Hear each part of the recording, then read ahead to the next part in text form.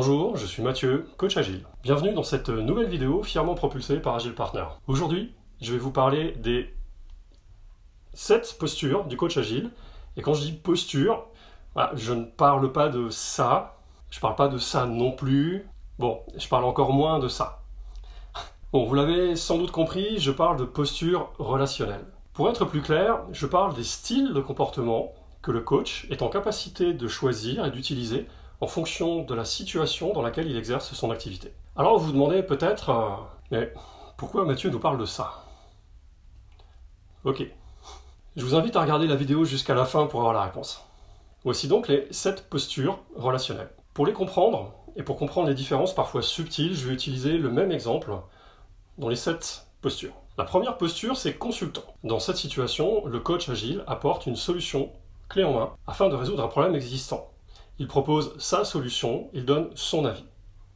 Exemple, moi à ta place, pour améliorer la performance de l'équipe, je réduirais la durée des sprints à deux semaines seulement. La deuxième posture, c'est sachant. Dans ce cas, il va partager ses connaissances, il va répondre aux questions qu'on lui pose. Par exemple, est-ce que l'équipe peut réduire la durée des sprints pour améliorer la performance?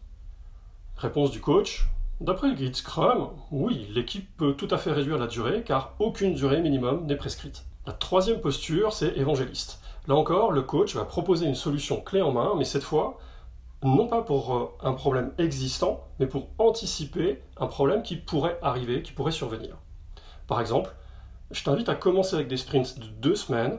C'est un très bon moyen pour engager la performance de l'équipe. La quatrième posture, c'est servante leader. Dans cette posture, le coach va rendre explicite les objectifs à atteindre pour donner du sens aux personnes et pour engager à l'action. Il s'agit d'expliquer le but à atteindre et de proposer son aide plutôt que de fournir une solution clé en main. Par exemple, vous voulez tester des sprints de deux semaines pour être plus performant. Ok, parfait.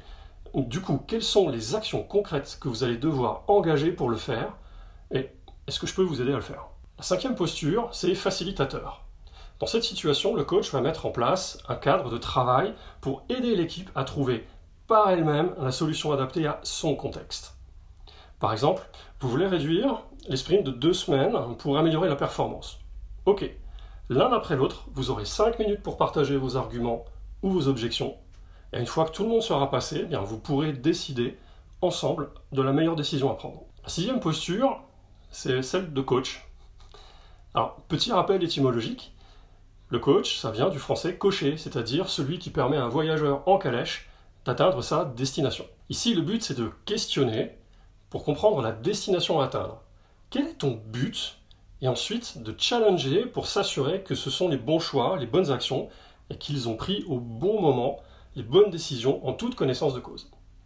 Par exemple, tu me demandes si réduire les sprints à deux semaines va améliorer la performance. Mais toi, qu'est-ce que tu en penses? Qu'est-ce qui te pousse à croire que la performance est le vrai problème à résoudre maintenant? Et enfin, la dernière posture, c'est jardinier.